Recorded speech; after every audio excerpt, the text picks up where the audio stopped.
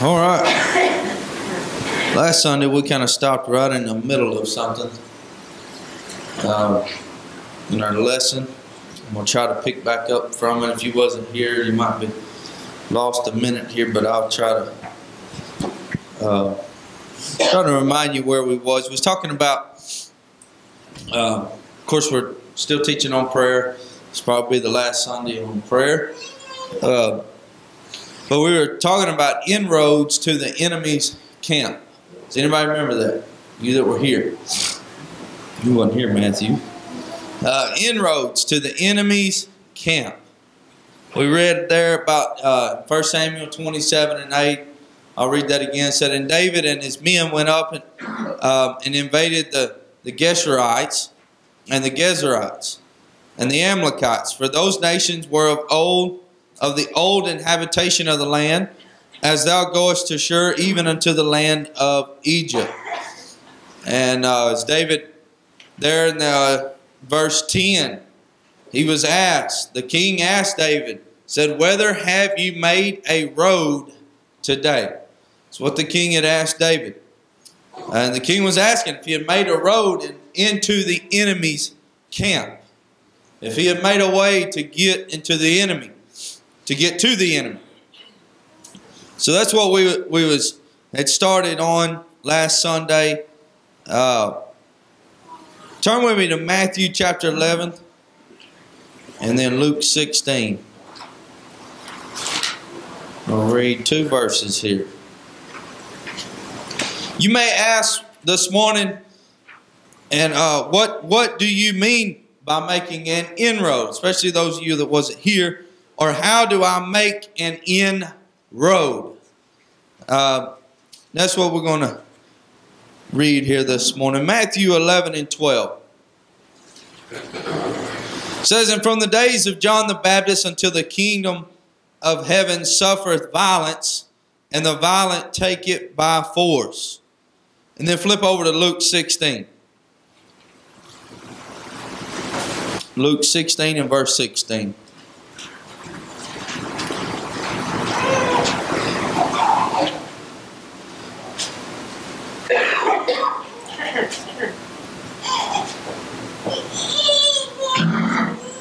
Says, The law and the prophets were until John.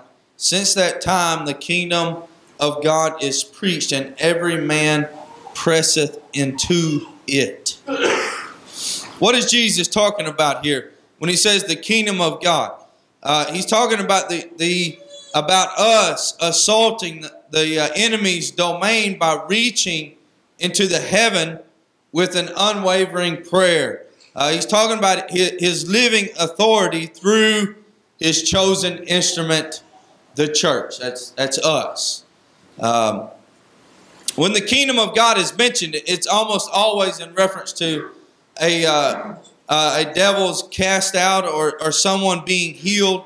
Uh, it's almost always Jesus exhibiting his power over the power of the enemy. What does scripture there say? Matthew 11 says, And from the days of John the Baptist until now, the kingdom of heaven suffereth violence, and the violent take it by force. Talking about the enemy. Um, when the kingdom of God, there's a, as mentioned, there's talking about most always when it's mentioned about devils being cast out or someone being healed. Uh, he told it his apostles to go into the city and whosoever would receive them, he said, heal the, their sick, tell them the kingdom of heaven of God had come unto them. Uh, everywhere we had we go, the kingdom of God should be established. Amen. The kingdom of God. We uh, establishing the kingdom of God on this earth. You may think be thinking about you know the kingdom heaven or something far off. But we're talking about the, the power, the working of God, His kingdom, which is through the making up of us, the church, here on this earth. Uh, and we know the enemy uh, doesn't like the kingdom of God, does it? Amen? Right, in you. Sure. It's the atmosphere development Right. Uh, it's within us. Uh, so everywhere we go, the kingdom of God should be established. Amen. Uh, not necessarily that people uh, people know that you're a Christian, but we said the kingdom of God should be established. Amen. That's an inroad should be created, a disturbance in the enemy's territory. It's easy to just leave things alone, isn't it? You know, it's easy. You know what? I just won't deal with that. Uh, you know, you may be passing, let's just be honest this morning. You know, you may pass someone on, on in your everyday life and you know, we can witness to them, we can show them the better way. Uh, but you know what? The easy thing is what? Just keep walking, right? That's the easy way out. Amen. But whenever we, amen, get disturbed, the enemy's territory, praise God. But more than that, setting up God's kingdom within hostile borders where the devil is saturated at, where he has his camp out. Amen. Reaching out uh, other than where we're just at. Amen. We may have this, this area where we're at spiritually established, our home. It may be established in the kingdom of God. But what about out there? What about others around us that the enemy has a hold of? That's the enemy's territory. Amen. And are we uh, doing our part this morning? Praise God to be a disturbance to the enemy. Or is the devil not worried about us disturbing his plan? Praise God. Something to think about this morning. Uh, and the uh, greatest factor in that comes through prayer. Praise God. Uh, it means more than just going to church this morning. It means more than just paying our tithes on Sunday morning. It's more than just shouting hallelujah. It means more than just getting enough to make it through day to day. Uh, it means more than having someone see your holiness attire and asking if you're a Christian. It's more than that this morning. It means more than, than shaking a leg to a, a fast song. Uh, it means war this morning. That's what it means. Amen. Going to war with the enemy. Uh, it means conflict, danger, taking what the enemy possesses.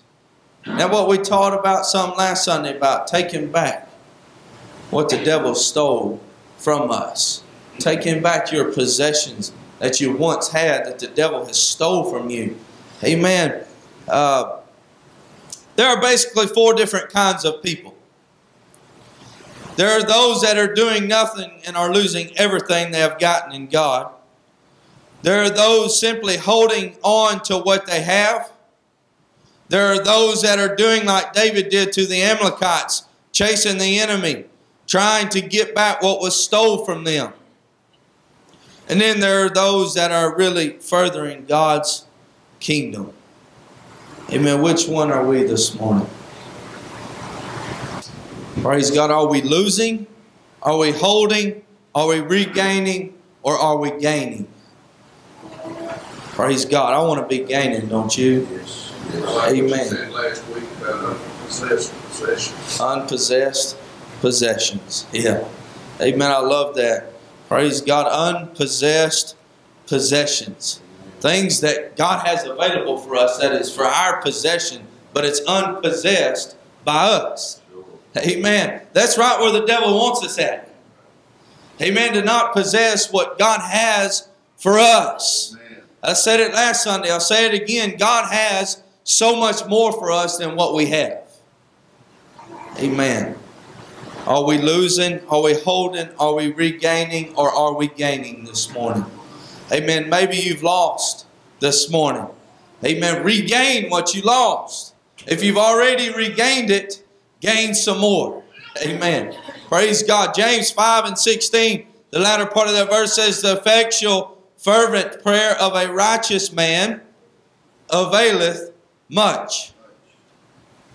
Is prayer very important this morning? Amen. That scripture said the effectual, fervent prayer of a righteous man availeth much. Right. Praise God. Amen. It's much, not just a little bit, but a lot. Amen. To avail means to have or exercise force. That's what avail means. Yes.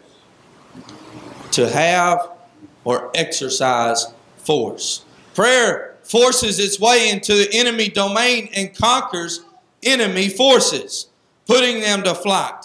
A prayer violently snatches souls out of the mouth of hell. A prayer knocks the giant down, takes his sword from the sheath, and then slays him with his own weapon. That's prayer this morning. A prayer makes inroads into the enemy's camp. Prayer this morning. We're talking about inroads, making the inroads into the enemy's camp. Amen. Going into the territory that the devil possesses. Praise God. Prayer makes that happen this morning. Amen. Prayer is that important. So, again, amen. Let's be a church that is gaining. Let's be a people that is gaining in Jesus Christ. Amen. Let's don't be losing this morning. I don't like losing nothing. Does anybody else? I don't even like losing when I play games. Anybody else like that? I like to win. Yeah, me too. Amen. Uh, the same way spiritually this morning, I like to win spiritually. That's right. Praise God. I, I don't want to be losing. Amen. Amen. I want to hold what I have, but I also want to be gaining on top of it. Amen. Amen. Don't let the devil steal from you this morning. The Bible says he's a thief. Amen. That's who he is. That's what he does. And he's a master at it, ain't he? Amen. We're going to move on in our lesson here, kind of take a different direction, but making inroads into the camp. Let's let's be a people that does that. Amen. It's not just about me and mine. Amen. That, that's not all that God cares about making it to heaven. It's just me. Amen. God cares about everyone, doesn't he? Amen. It's, and we, if God ha- has saved you this morning, amen, shine that light.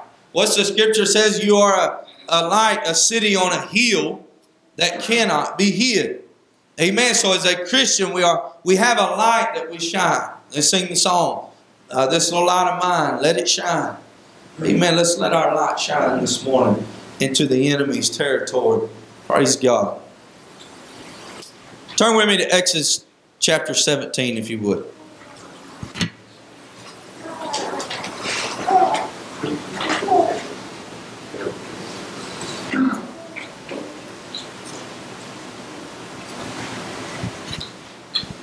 Now remember, we started out, let me back up here. We started out teaching on the results of prayer. I guess a month ago, and that's still kind of the title we're going under this morning the results of prayer. Um, amen. There, we can see results. I like it when we see results from praying, don't you? Amen. Amen. It's not just so we can say we get out and pray. Amen. Mean it. What you pray. Praise God. Be consistent in it, and you will see a results in your prayer this morning. You hear that? Amen. If you will be consistent, and if you'll be sincere, amen. If you'll have that effectual, fervent prayer, amen, you will see results. Praise God. How many knows we need to pray for our leaders this morning? Amen. Definitely. This little section we're going to do here just for a few minutes, and we're going to talk about praying for their, our leaders, our pastors. Amen. Exodus 17 and 12 says, But Moses' hands were heavy, and they took a stone and put it under him, and he sat thereon, and Aaron and Hur stayed up his hands, excuse me, the one on the one side and the other on the other side. And his hands were steady until the going down of the sun. You may remember this story here, you Bible readers, but um, it's where they were in war, and as long as Moses' hands were held up, they would win. And you ever held your hands up for a long period of time? It begins to hurt, don't it? After a while. That's what happened. His hands got tired. And if his hands would come down, they'd begin to lose. So they, they set up rocks underneath his hands to hold them up. We ain't to lose this battle. Uh, so he, his, what did it say? Aaron and Hur stayed up his hands. Moses was their leader, right? And so this what we're talking about here, prayer and helping our, our leaders. That's what Aaron and Hur were doing here. Uh, they stayed up the hands whenever the, their leader got tired. Amen. You mean leaders get tired? Sure they do. Amen. They're humans just like us. Praise God. Amalek came against the Israelites to do battle. The Bible says that Moses told Joshua, Choose at us out men and go out, fight with Amalek. Tomorrow I will stand on the top of the hill with the rod of God in my hand. As long as Moses could hold the rod in the air, the Israelites would overcome the Amalekites. But when Moses' hands became tired and his arms began to fall, they started losing. It's already said. Uh, Aaron and Hur came to Moses, and instead of kicking him down and being upset because he was uh, because he was not his normal self, they realized that Brother Moses there needed some help holding up the rod of God in the air. They set Moses down on the rock, stood on one on each side, holding his arms up, relieving Moses of some of the burden. Praise God. As this took place, the Israelites routed the Amalekites and achieved a great victory that day. Amen. I understand the importance here this morning of, of our pastors and his relationship to the church. it, it is important this morning. Amen. But we know that our leaders need prayer this morning. Amen. Our pastors, our leaders of the of of uh, all over the world need prayer this morning. Amen. It's important to to pray for our leaders. God uses, Amen, the leader to lead the flock, the pastor. Feed the flock, spur the saints on, hold the word of God high. As long as the, the man of God is doing that, the church will prosper. Amen. It will. Uh, but he is just that this morning a man of God. A man. A man of God. Amen. I try to daily. Uh, it is important. Praise God. Instead of being upset at his change of countenance, instead of, of thinking he's mad at you, instead of looking for another church with a nicer pastor, you know, we may some make all different kinds of, of faces, and uh, but uh, some may think they're mad, but you know that ain't always the case. uh, praise God. But find an altar and pray. That's the important thing this morning. Amen. Find an altar, lift his hands up, so to speak, as we read about Moses, with prayer. That's how you hold up the hands of the leader this morning. It may not be like they did with physical rocks, but with prayer, that's that rock this morning. Amen. That we help hold up the hands, amen, of others. Pray for him. Amen. His entire family. It will bring great rewards this morning. It will. Prayer, the results of prayer. That's just another result in prayer. Amen. Praying for our leaders. Praise God. Leviticus 6 and 13, I'll read it real quick, says, The fire shall ever be burning upon the altar, it shall never go out. Amen. The keepers of the flame.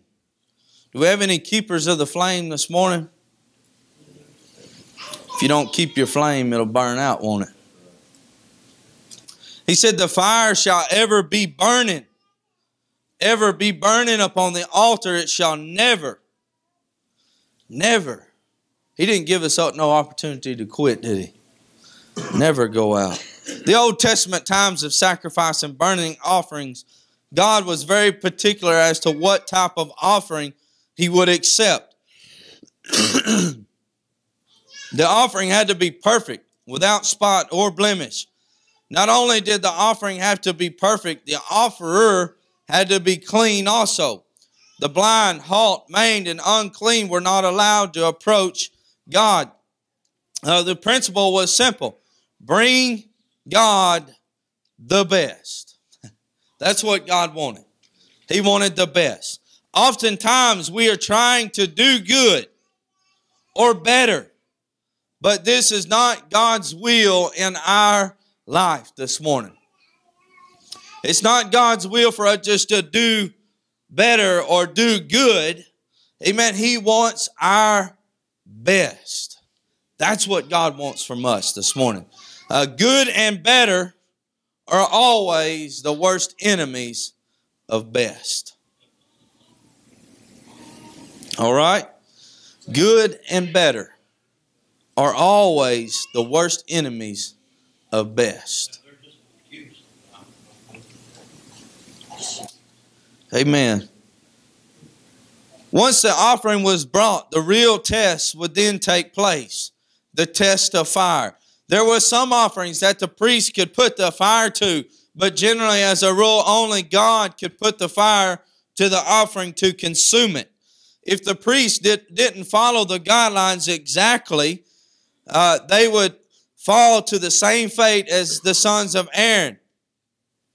As priests, they were responsible for the maintenance of the temple fire, yet they let the fire go out from off the altar. Instead of entreating God in their fright, they tried to rekindle the fire with strange fire or fire from the, the flesh pots when it was to be God and only God who sent fire upon the altar.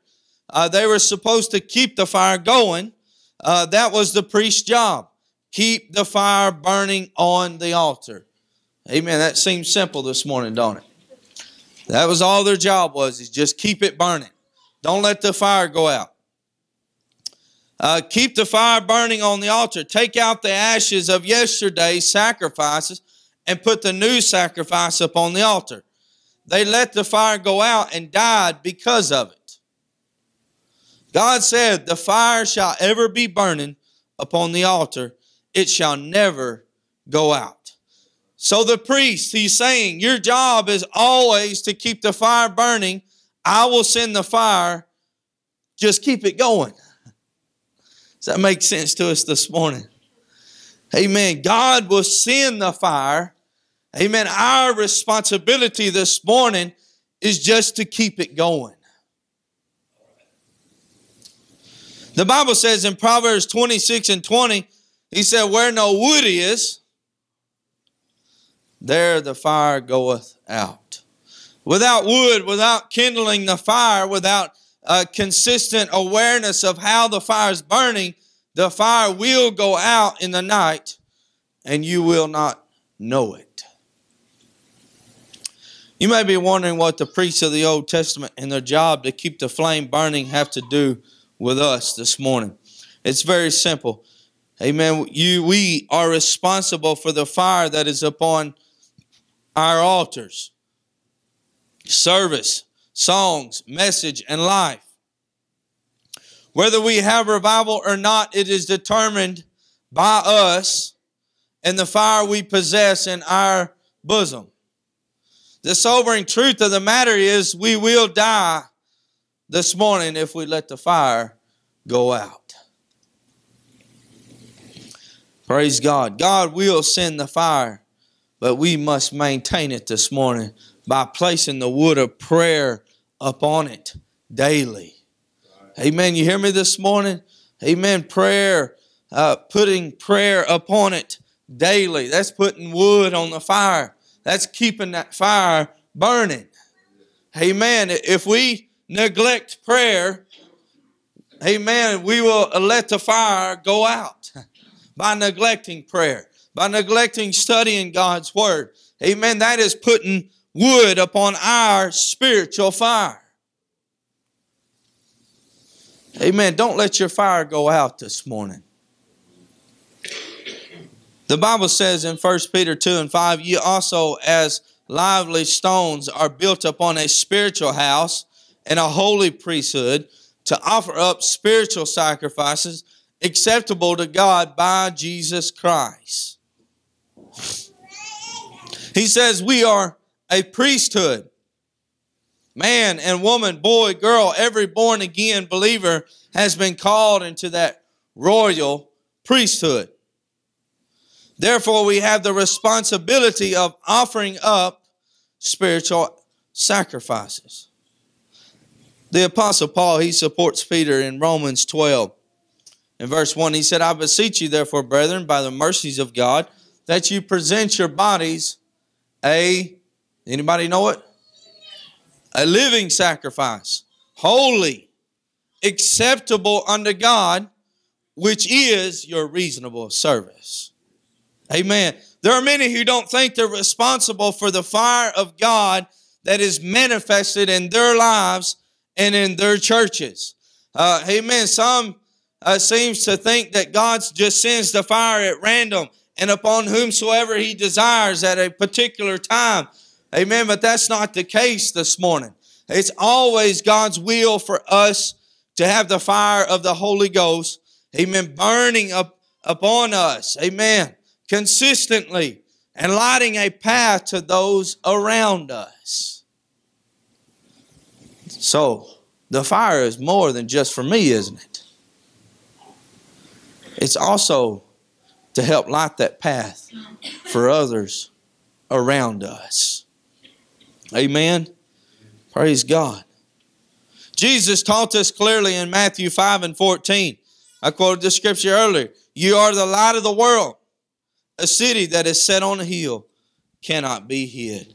He said, Neither do men light a candle and put it under a bushel, but on a candlestick, and giveth light unto all that are in the house. And then verse 16, he said, Let your light so shine before men that they may see your good works and glorify your Father which is in heaven. Amen. What was their source of light? Fire. Think back in the days, there was no electricity, was it? They didn't go flip the switch and turn the lights on.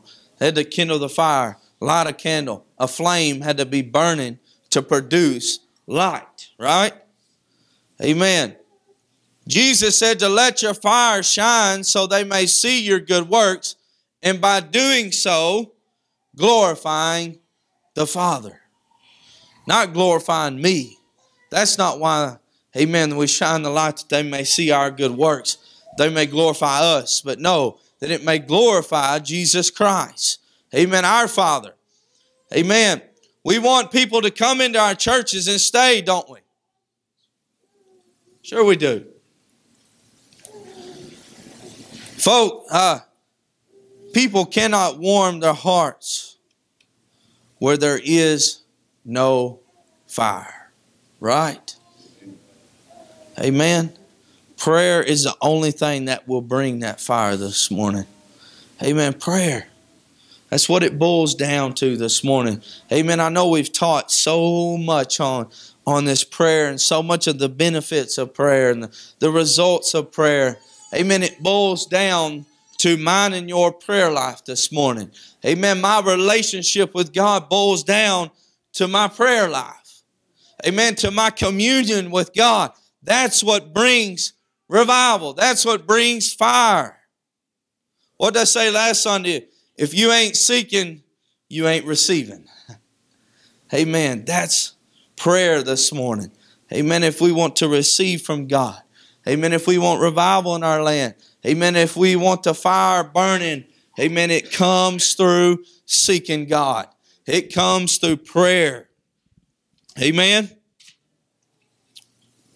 There are a lot of offerings going on, but it seems that there a very little of them are being accepted by God.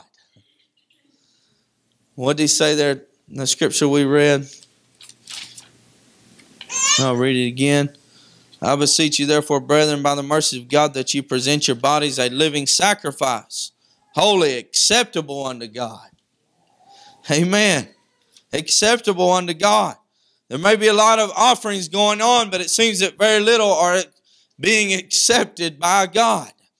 Amen. Our churches are full of singers, preachers, musicians, teachers, and the list goes on, but amen, is a very little fire. a time and time again, God will send the fire, but if we're not careful, we let it go out. Praise God. Amen. God will send the fire this morning. God will send the fire in your life this morning. Amen. But you know what? I got to maintain it. I got to keep it burning. I've never been able to set a fire and walk away from it and it always burn. Anybody else?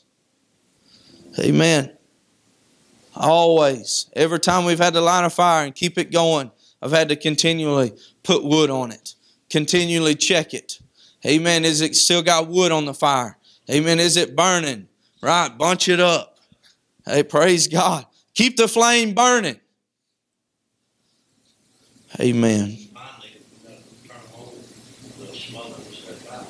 Right. That's right. That's exactly right.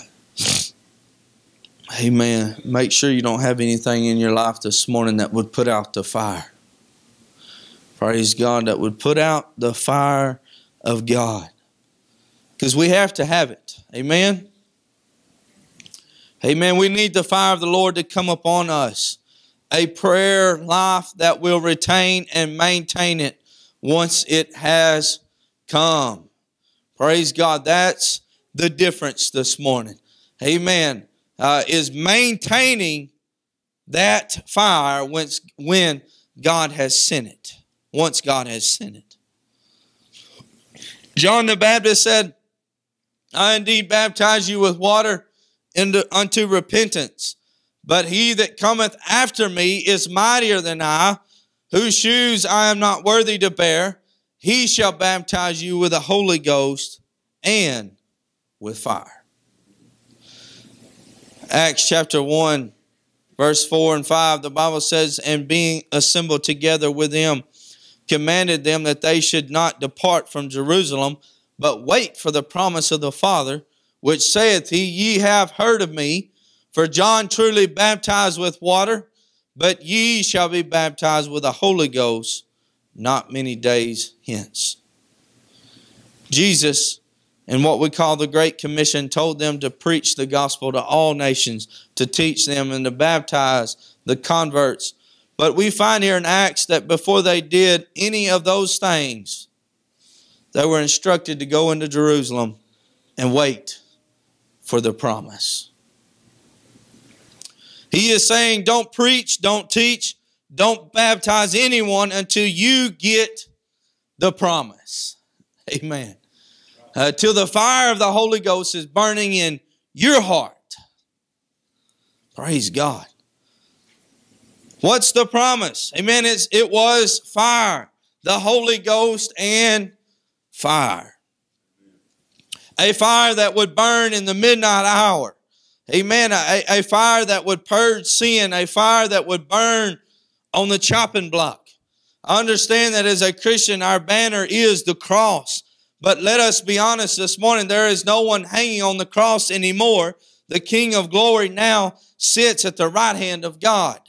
Uh, amen. I believe we could rightfully say that as much as a cross, a tongue of, of fire could be symbolized a symbol of, amen, the Pentecostal church.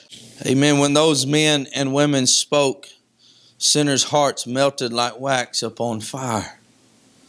Praise God. Amen. Those, the men you, you read in the in the scriptures in the New Testament, and these men here, amen, they they had the fire burning in their life. Amen. They had a walk with God. It makes a difference this morning in our lives. They were just ordinary men, amen, that continue to get down on their knees and pray and seek God, that God fill them with the power and that fire from above. Amen. If we ever need needed the fire in our churches, it's today. You believe that? Amen. If there was ever a time when we needed to keep the flame alive in our lives, it's right now. Amen. It's not yesterday, but it's today. Praise God. It's right now that we need that fire, that consuming fire. Praise God, to burn within us. There was once a Scottish village that suffered a great tragedy once a one freezing cold winter night. Through the night, it became so cold that the fire in the village went out. Every hearth had lost its fire. Several of the men met in the town square, finding out that no one in the entire village had a fire to give to the others. Their eyes immediately searched the mountains, and behold, one lone cabin with smoke ascending from its chimney. They climbed that mountainside in the freezing Arctic winds. Though they would slip and fall, they might, or they kept moving. They knew that their families would die without fire. Once they reached the top of the mountain, they knocked on the man's door and explained their dilemma. He was more than glad to let them ignite their torches from the fire that burned upon his hearth. Amen. Watch those men as they journey back down the mountain. They turn their backs to the to the wind, shielding the flames from the from being extinguished. They slip and fall, sliding down the mountain, but they keep the flame protected. Why? Because there is life in the flame. Amen. So they kept, so they must keep it burning. Praise God, there's life in the flame this morning. Amen. I want to make two points here this morning. Uh, the man on the mountain saved the lives of every one of those villagers by keeping his fire burning. And two, the men who received a second chance from that man respected and understood the importance of keeping the fire burning even more so than ever before. Amen. After their fire went out and they had to go through all the trouble to get that flame relit. So then they understood that more than ever before the importance of keeping the fire burning. Amen. Have you ever lost your fire before? Amen. And it take you for this long process. Amen. The things that we might have done in our life that caused us to lose the fire. Amen. And then here we have to go this long process back to the fire. Amen. Learn from that this morning. Amen. Realize the importance of just keeping my fire burning. That I don't have to do that again. I bet them men, that story said, you know what? My fire will never go out again. I ain't going to climb that mountain again in that freezing cold. My fire will always be burning. Why? Because they had learned the hard process of when you let the fire go out. Amen. Let's keep the flame burning this morning. We are living in a cold and dark hour. Wouldn't you agree with that this morning? Amen. Men, what's the scripture say? Love darkness rather than light. Amen. Because their deeds are evil. Uh, we have a calling on and in our lives a call to burn, to be a light in the midst of darkness, to be a light that shines so bright the lost world can see the pathway to Calvary. One of John Wesley's critics was inquiring how he get got such crowds to come and hear him preach. John Wesley's friend told him, Mr. Wesley spends much time in prayer in the prayer closet asking God to pour the fire out upon him. Mr. Wesley comes to the church on fire. The people come to watch him burn. Amen. Let us be honest with ourselves this morning. Many of our people have allowed the flame to go out. Amen. To die, to flicker. Amen. If not to mere ashes. The world is not waiting for a new definition of the gospel, but a demonstration of the power of the gospel. You hear that this morning? Amen. The world is not looking for a new, God, uh, new definition of the gospel, but a new demonstration of the power of the gospel. Amen. We need to throw ourselves upon the altar. Praise God. Cry out to God until He sends that fire upon you this morning. Amen.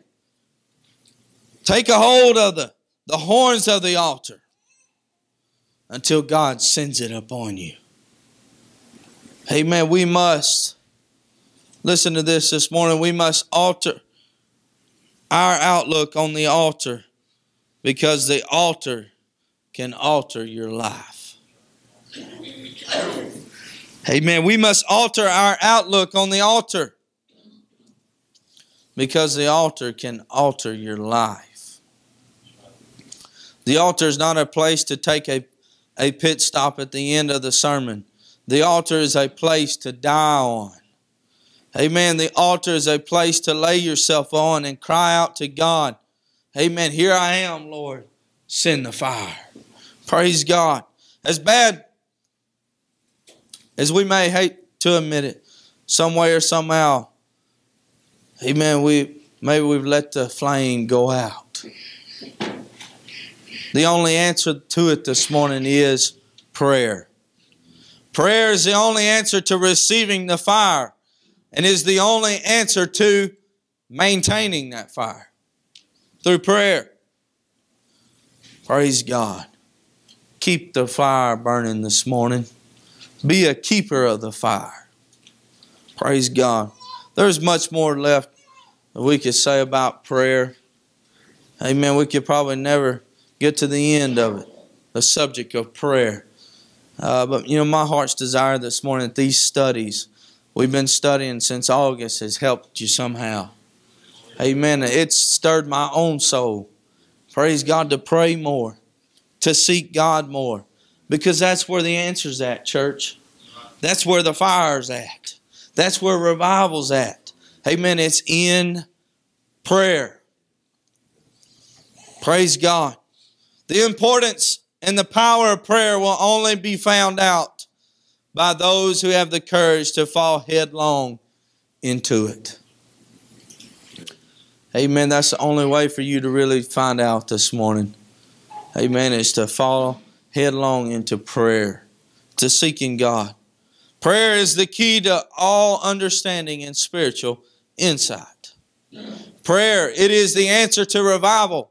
Prayer, it is the answer to a productive and successful Christian life and walk with God. Amen. In all you're doing, pray. Praise God. In everything that you do, pray. Praise God. Amen. Let's be a church. Let's be a people of prayer. Amen. A people of seeking God.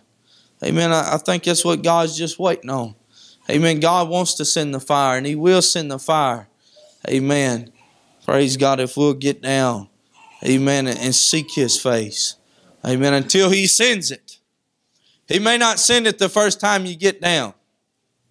Probably not. Amen. But you know what? If you'll keep praying, if you'll keep seeking God, amen, He will pour it out upon you. He will. Amen. Let's stand this morning.